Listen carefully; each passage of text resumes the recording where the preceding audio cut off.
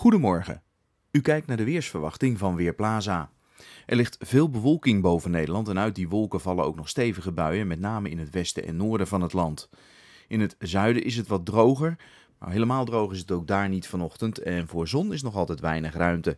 Temperaturen liggen rond de 18 graden en daar komt vanmiddag niet heel veel meer bij. In het zuidoosten zou het 21 graden kunnen worden. Hier en daar een klein beetje zon, maar op veel plaatsen blijft het toch grijs met hier en daar ook nog behoorlijk wat neerslag.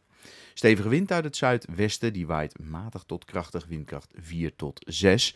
En vanavond wordt het dan wel geleidelijk aan droger en klaart het ook op meer plaatsen op. Morgen een wisselend beeld met eerst af en toe wat zon, hier en daar een enkele bui. En dat blijft een groot deel van de dag zo. Temperaturen tussen 16 en 19 graden en nog steeds een stevige zuidwestenwind. En wat dat betreft verandert de zondag ook niet veel. De buienkans is zelfs wat groter, mogelijk een klap onweer langs de kust.